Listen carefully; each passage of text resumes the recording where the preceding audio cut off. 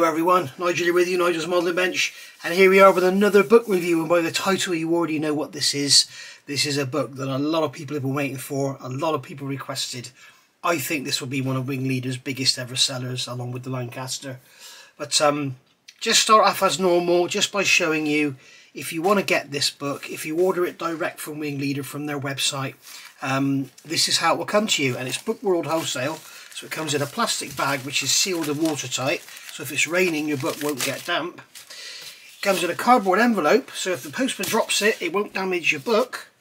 And it comes in a bubble wrap envelope inside the cardboard, inside the plastic sleeve, so it can get damp, cold, dropped or whatever, and your book will arrive, like this one, in perfect condition. Notice no dog ears, no nothing.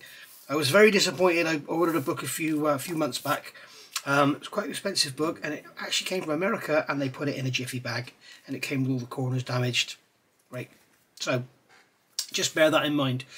So here we have the Douglas Boston Havoc in RAF service Northwest Europe. Right, I'm going to start here by saying what I normally do when I do these book reviews. I have a quick flip through. I pick out a few certain bits that, you know, you're going to point out and, and go for the review with this I would take it would take me a day to do that. And I've only just received this book about an hour ago. So I haven't done that. I've gone through and picked up a few bits and pieces but this book is absolutely cram-packed full of really interesting points I never even knew about this aircraft. What a thing this was. What a tool this aircraft was. I know that it was used you know, all over the world. It was used in Australia, in Russia, it went over to Africa, it was used by the RAF, it was used by the French, it was used by the Americans. Unbelievable bloody thing. Unbelievable. I also didn't know that some were built by Boeing. So got that from this book as well. So as usual, lovely Wingleader, nice glossy cover. There's the ISBN number there should you want to order it from somewhere else. That's where you can get it. wingleader.co.uk and look at that it is still 1995. I've got a model magazine over here which is just a normal off-the-shelf model magazine and it's 5.99 and yet you can get one of these books for 19.95 incredible value in this day and age when you think how things have gone up. It's I don't know how Mark does it. He keeps the price at that at that 1995 level. I don't know how he's done it. But um still we won't complain. So we have a lovely glossy cover lovely color image on the front and we also have some lovely images there of the uh, Boston or the Havoc. Um, I'll just read out the foreword. Uh, this is number. This is book number 28. Um, I'll just read out the foreword because it's very poignant to what I just said. Um, while I was working on this book, someone asked me, so what's the difference between a Boston and a Havoc? I was just about to confidently say that the Havoc was a night fighter and the Boston a bomber. Then I remembered the Boston 3 intruders. Okay, no problem, I thought. Havoc had the smaller tail, but then I remembered the Havoc Mark II. In short, just like the P40, the lineage of the Boston is far from simple, but we have done our very best to explain it all in this book. And you're going to have to get it and read it, because I'm not going to tell you, because I, I can't find the, all the differences. I'm delighted to welcome renowned profile artist Juanita Franzi to the series with her excellent set of Bostons and Havocs contained here. Juanita has a remarkable ability to weather her profiles, a skill that is particularly useful when portraying matte black painted night fighters. I'd also like to thank Mark Harbour for contributing his knowledge on the technical side of the Boston, which has really helped us to dig deeper into the photos that you will find here. Once again, our author Andy Thomas has dug out some of the very rare and interesting photos of RAF Boston Havocs in operational service. So many, in fact, that we had to drop all the North Africa and Italy content for a future volume. So we're going to get another one, guys. That's good news. And that's from Mark Postlethwaite, who's the series editor. I met Mark at Telford this year. What a great guy. Brilliant. Uh, really glad I've met him. Didn't realise he actually lives in Poland. And he's one of the most English speaking gentlemen you'll ever meet. And he's lived there for years. So, um, yeah, the profiles are by Juanita. I'm sorry if I've slaughtered your name. Juanita Franzi. Um, Franzi, uh, Juanita Franzi Aero Illustrations. And they are really nice as well. And you've got your normal modeler's notes and everything. And most photos sourced from www.wingleaderarchive.com the largest online private collection of World War II aviation images. Sign up now. I'm going to be doing a review of that Um, I had forgotten to do it because I've had so much to do and so much going on in my life beside modelling um, lately. Um, and I need to do a review of that. I've forgotten to do it. I've got access to that, uh, that wonderful site and um, I'm going to do a review of it and tell you all about it. So here we go. Beautiful black and white image. RAF Northwestern Europe operations. So, introduction. There's the first DB-7 to see action in World War II.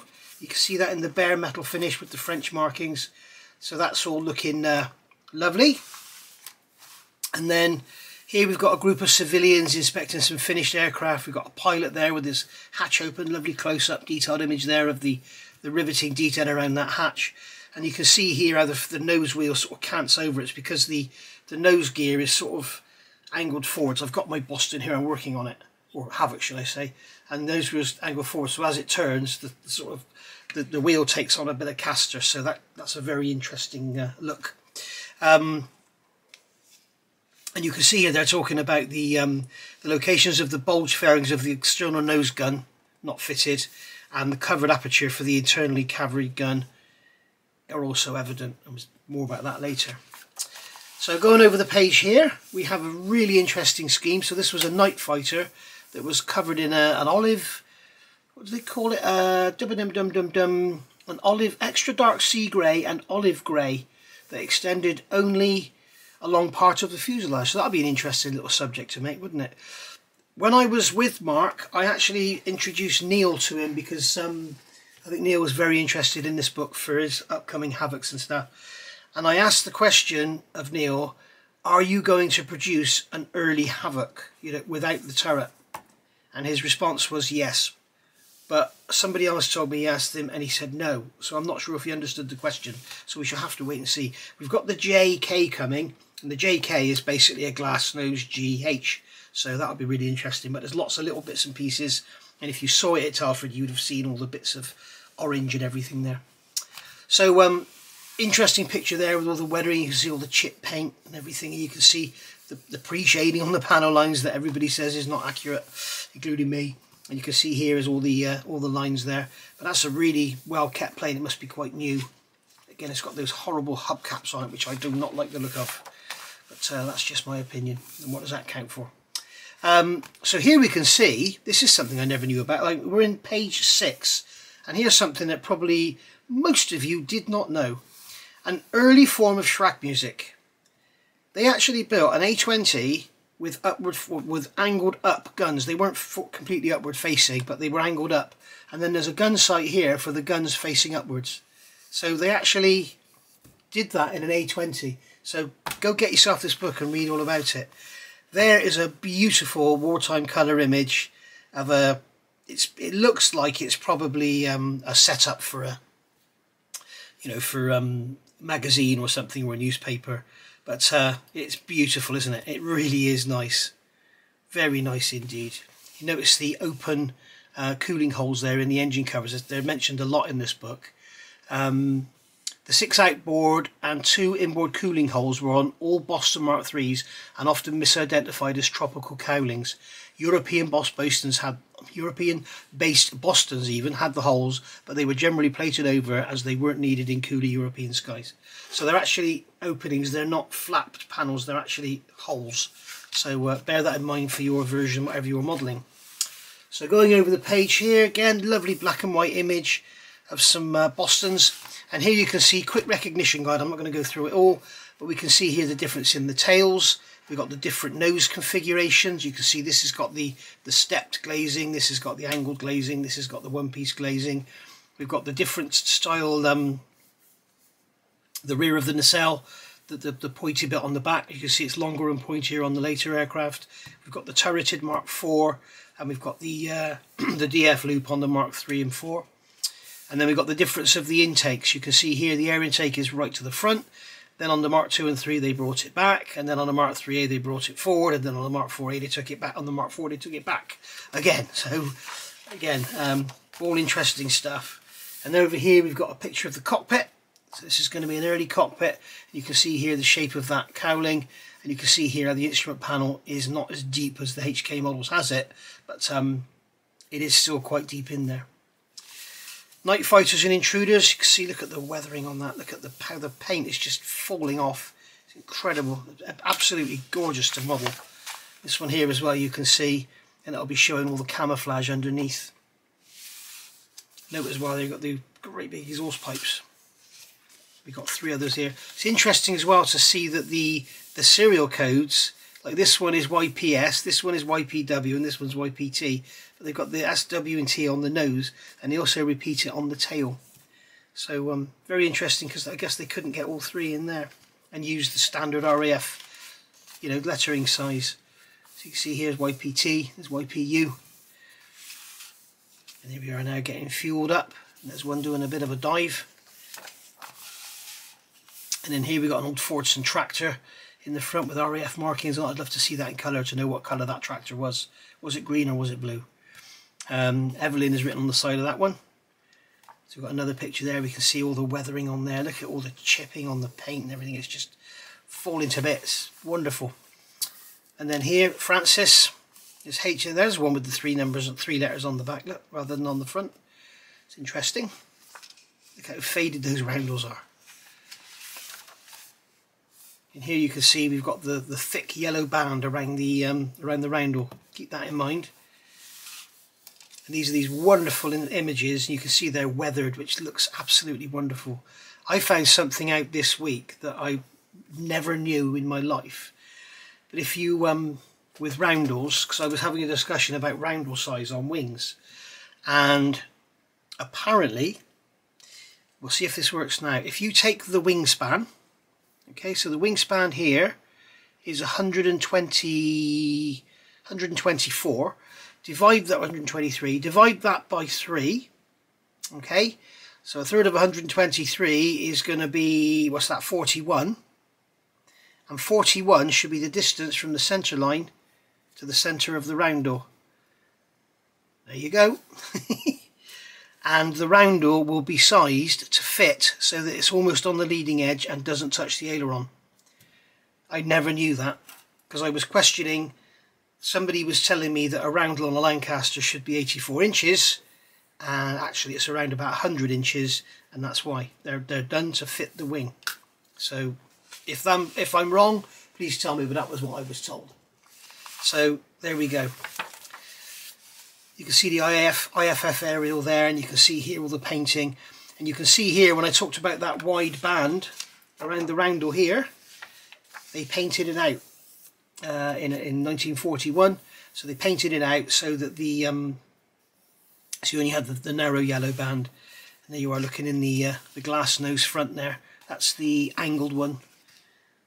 Very interesting. Quite cramped in there. You can see there's his shoulders and it's got hardly any room to move and here we are, a very interesting paint scheme.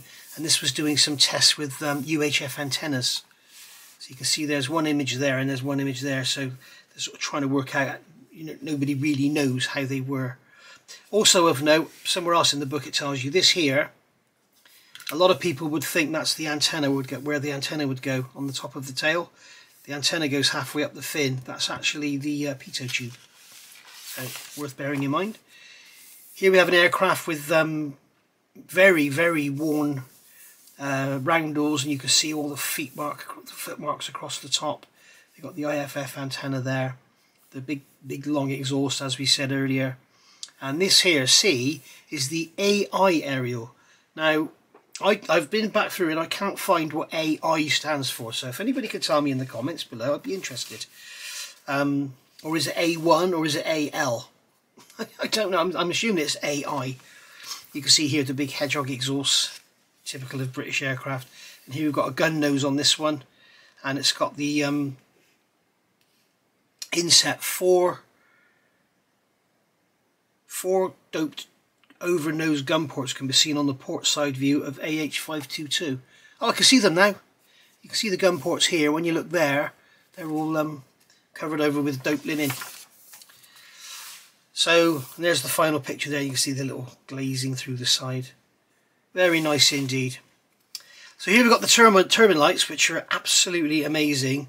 This was a massive, massive searchlight mounted on the front of the aircraft. And it had eight It does say in here somewhere 800,000 watts, equivalent to 8,100 watt domestic light bulbs, with an illumination time of around two minutes before the batteries were exhausted. Carried great big batteries in the um, in the bomb bay. So you can see here the front is sort of basically cut off and it's got this great big glass glass dome or the glass nose on it. Very interesting look. That'd be great for a resin conversion if anybody does a 30 second scale one of these. And uh, very interesting. But it would actually light up the sky. It tells you down here. Um, the light had an elliptical reflector that projected a horizontal beam of light with a 30 degree divergence, giving a light coverage 950 yards wide up to one mile ahead of the aircraft. I mean, God, imagine seeing that coming at you. You ain't going to get escape that, are you? Again, you can see these uh, engine cover, engine cooling holes there. Here you've got the, the engine cover off. Some tatty old pictures there. We've got an extended ladder for the for the boarding hatch there for the rear the rear guy. And then we've got Royal Canadian, Boston and, uh, and Intruders.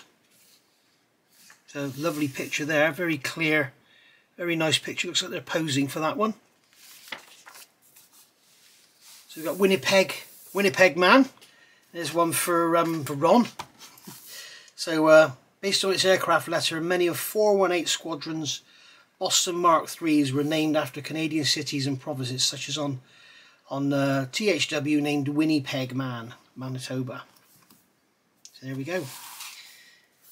And you can see there's another doped over, um, dope linen covered gun port there. This guy's having a little chin wag. So some great pictures in this book to show you how to weather your A20, whatever uh, whatever year you've got. I'm sure they all weathered the same. You can see here the paint chipping and all the touch-ups and everything. It's amazing. You can see the twin the twin Brownings there, twin 303s. And then here we've got some stenciling. You can see again there's that antenna. Look, the little short clear nose on that one. A clear tail, sorry, not nose. And then here, pitot tube, antenna. See a picture there taken from the sky. And here we've got a very cold winter, so they've got the, the wings and the tail planes all covered up. I'm guessing that's so they can quickly uncover them and fly rather than wait for them to thaw. I remember sitting on the um, on the end of the runway at uh, Stuttgart having the aircraft cleaned with all this pink antifreeze they sprayed all over it to defrost it. You can see that big red sticker there that says fire extinguisher inside, which is pretty much typical for all all the A20s, I think. So here we can see we've got armoured windscreen, external armour. So, you know, the variations you can get with this one aircraft is just incredible. You can see here beautifully weathered. This is gorgeous. That is beautifully weathered. Again, you've got the modeler's notes, which is just what you want as a modeler. These books are made for modelers. They're brilliant. This is far better. I know it doesn't cover the A20G, but that book I've got, the, the A20G that I paid about £58 for, this is way, way better than that for, you know, for modelling. But unfortunately, it's no good for the A20G, but certain aspects of it will be. So yeah, you can see there another beautiful black and white image. We've got another image here. You can see the machine gun at the front. Then we're on to day bombers. There's a lovely straight on shot from the sky and a very rare shot of the um, of the bomb bay with the four bombs in. And you can see here, the it mentions here, interesting mechanism. It's a very, very simple mechanism. You've basically got rods on the sides here attached to the bomb bay doors okay? So it's pivoted there and this is a hydraulic ram and it just pulls up. So as it pulls up it pulls them up which pulls the door shut. Really simple system. Very strong as well I should think.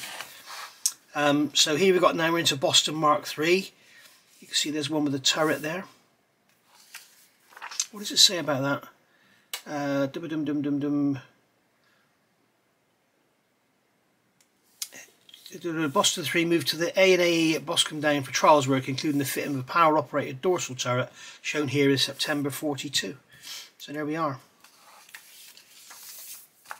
Here's some great images coming now, guys.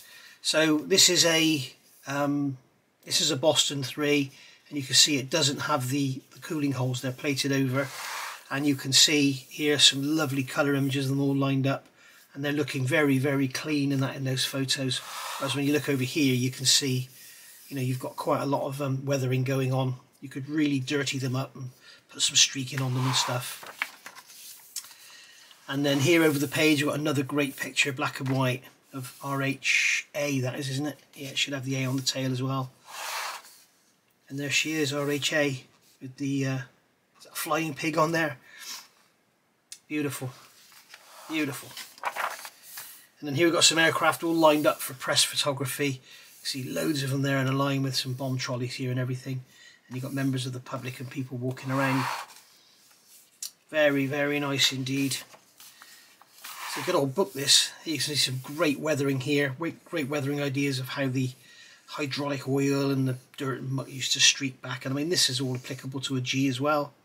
You know, an A20G or whatever you want to build. It's um, very, very nice. Obviously, you won't have the porcupine exhaust or hedgehog exhaust. You've got the multiples, which is in here later. But look at the look at the weathering. Look how dirty they got. So very nice, very nice indeed. Some more beautiful weathering images there. And now we're on to the Boston Mark 3A. So again, we still don't have a turret, but we have twin machine guns. And now we've got the multiple exhausts you can see on here which are the same as the, I think they're the same as the A20G, very similar if they're not the same. And then going over the page here, this is a special squadron, and you can see on the bottom here these pipes coming out, um, and these were for putting down smoke screens.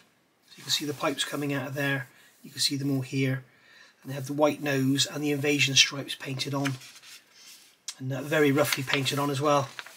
As can be seen here, you can see there's there's one very low over the sea on D-Day. That's actually um, do, do, do, do, do, Yeah, it was actually on D-Day. It was lost on the 12th of July. So, uh, sorry, that was this one. Lost on the 12th of July. That one was on D-Day. One or the other. And here you can see some painted on stripes. you can see they're very, very rough. And uh, I've always thought it'd be very, very difficult to replicate that on a on a model. Um, I must see if I can do it. Because uh, I'm not sure if you could do it and make it look accurate, but make it like there's just not the fact that you can't paint. You know what I mean? Be uh, very difficult to do. So here's one here. We've got nose art there. Beer is best. I'll go along with that every day of the week. That's brilliant. And then here we've got the uh, the exhaust outlets there. That's like on the J, isn't it? Uh, dum dum dum dum. Clayton S type exhaust. Yeah, I think that's what the J has got, these, these external little lumps here. You can see them there as well. Again, you can see there's really roughly painted on stripes. There's the door there for the uh, for the lower gun. And then here we go. We've got a lovely aerial image.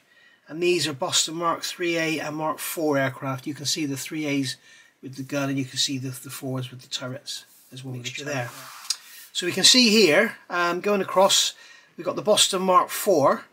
Um, and it's telling me this is something I've always wondered with these English aircraft. And I'd love to know, you know, it tells us here with this one, but, you know, a, a Corsair 3, what is that? You know, or a Wildcat 4, or we didn't even call them Wildcats, did we? Um, when the British took on American aircraft, they gave them different names. The A20 series was incrementally improved and on mid-June 1944 the first Boston Mark IVs were delivered to the RAF. Over 250 of the Mark IV, which is the A20J, and generally similar Mark V A20K served with the 2nd TAF and in Task Air Force and in Italy. I think Task Air Force, isn't it? So, um, so we've got a Mark IV illustrating the distinctive clear glazed nose, the one piece, uh, and multi-pot exhausts. Okay, you can see those on there. The streamlined long-range 300 US gallon fuel tank was plumbed into auxiliary tanks fitted in the bomb, bomb bay to increase the range for Atlantic crossings and was not used in operations. So that was only for um, tax uh, for um, getting them over here. Uh, it was delivered in US olive drab and neutral grey. In total, 169 Mark IVs were supplied to the RAF. Uh, 10th of May 1944, you can see that one down there and we can see it's got two um, 50 cals, the Boston Mark IV, served with two second TAF squadrons in northwest Europe, but the generally similar Mark V that used twin Cyclone R2600 2900 served only in Italy. So there we are. So the forthcoming A20J, um, I know that Neil is very much wanting to put an RAF version in that boxing. Um, now I'm sure if Neil doesn't, then I'm sure that uh, somebody will be doing decals, aftermarket masks, whatever. So you can actually do an RAF Boston Mark IV from that kit. And I'm sure it'll be easy enough to do. Also of note, I've spoken to Neil about the nose wheel and I think he may be correcting it for the uh, for the A20J. Um, so you can see here another image underneath.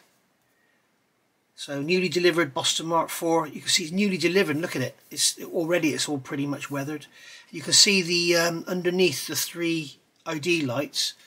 They're much closer together than we've got them on the kit. So I'm not sure was this particular to the Americans or, or, or is this incorrect or what? I'll, I'll wait for you to tell me in the comments.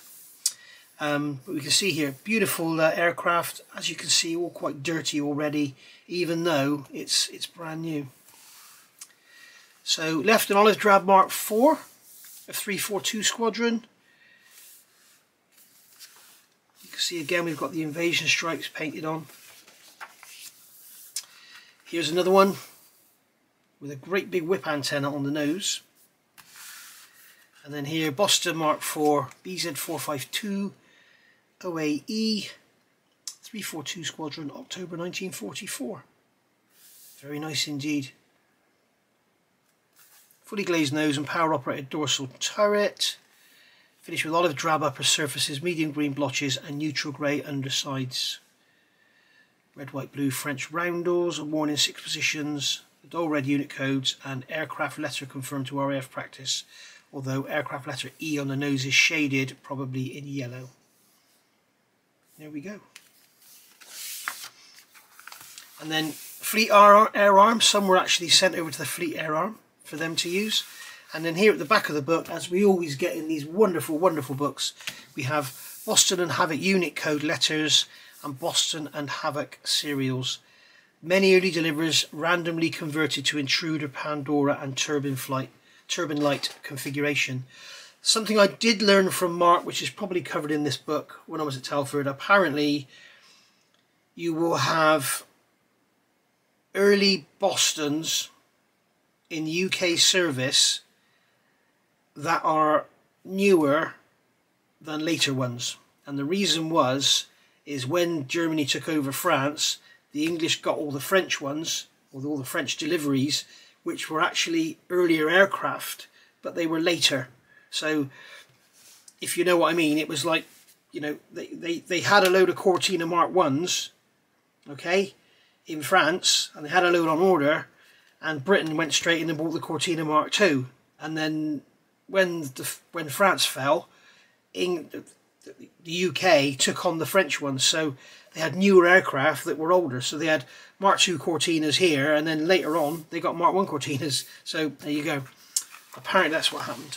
But anyway, lovely, lovely book. One of the best, I think. Um, fantastic subject, extremely interesting. Really, really good to have by the side of the bed for some bedtime reading because it is just absolutely packed with information that certainly I'd never heard of. I know a lot of you won't have either. There's going to be obviously experts out there that know absolutely everything there is to know, but um, I'm certainly not one of those. So there we go. Well worth getting. I'll show you again. There's the ISBN code number, should you wish to order it elsewhere. But I would order it if you're in the UK, particularly, even anywhere in the world. The postage is very reasonable, and I'm told the delivery is very fast. But www.wingleader.co.uk, RRP 1995. Brilliant. Right, thank you for watching. I'll see you all soon. As I say, I'm working on the A20 now, so I should have parts 16 up very shortly. Bye for now.